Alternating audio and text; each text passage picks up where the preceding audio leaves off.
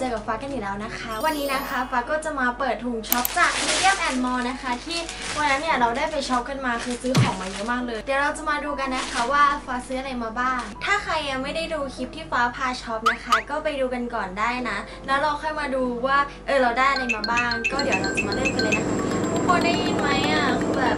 ช่วงนี้ฟ้าถ่ายคลิปยากมากเลยเพราะว่าข้างบ้านเขาก่อสร้างแล้วเขาเจาะบ้านทั้งวันเลย ถุนี้นะคะก็มูลค่าทั้งหมด 1,034 บาทนะคะ เราอาจจะต้องพากเสียงกันเอา อย่างแรกที่ได้มานะคะก็จะเป็นกระเป๋าผ้าแบบนี้เป็นเหมือนถุงอะ่ะฟ้าก็ไม่แน่ใจว่าเขาเรียกว่ายังไงนะคะ แต่ว่าน่ารักดีเราก็เลยเอามาค่ะ แล้วก็เอามาทั้งหมด 2 ลายนะคะ แบบนี้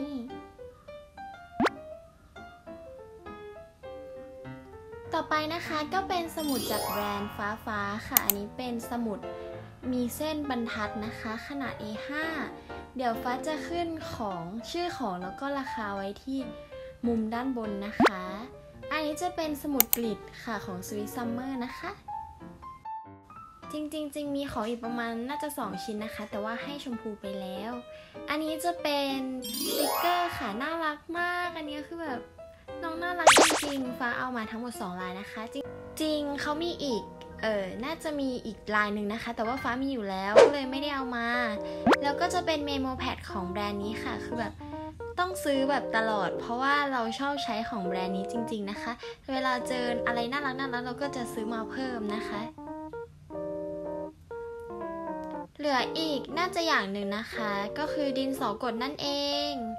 อันนี้ก็แบบน่ารักมากเลยลายเขาน่าจะเป็นลายซาริโอนะคะ ก็เลยหยิบมาค่ะ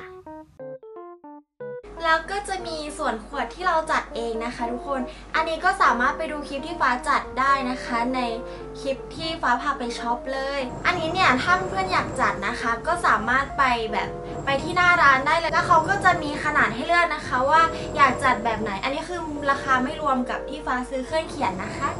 แล้วก็จะมีเซตนี้ ค่ะ คือช่วงนี้นะคะ Medium and More เนี่ยเขาครบรอบ 2 ปีนะคะ เขาก็จะมีเป็นทำคอลเลกชันร่วมกับหมาจ๋าค่ะ เป็นเพจชื่อดังเลยนะคะ ของทาสหมาทาสแมวอะไรแบบนี้ ก็จะมีถุงผ้านะคะ แล้วก็จะมีเซตสเปรย์แอลกอฮอล์ด้วย แต่ว่าอันนี้นะคะฟ้าได้แบ่งเพื่อนๆไปใช้แล้วนะคะ ก็เลยเหลือ 1 อันเท่านั้น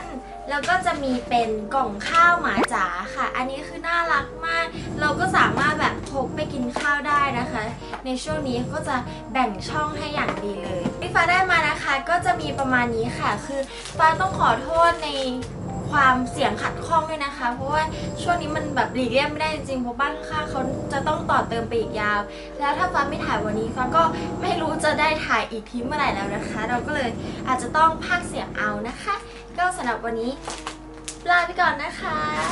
บ๊ายบายค่ะ ก็อย่าลืมไปดูคลิปบล็อกฟ้าด้วยนะคะ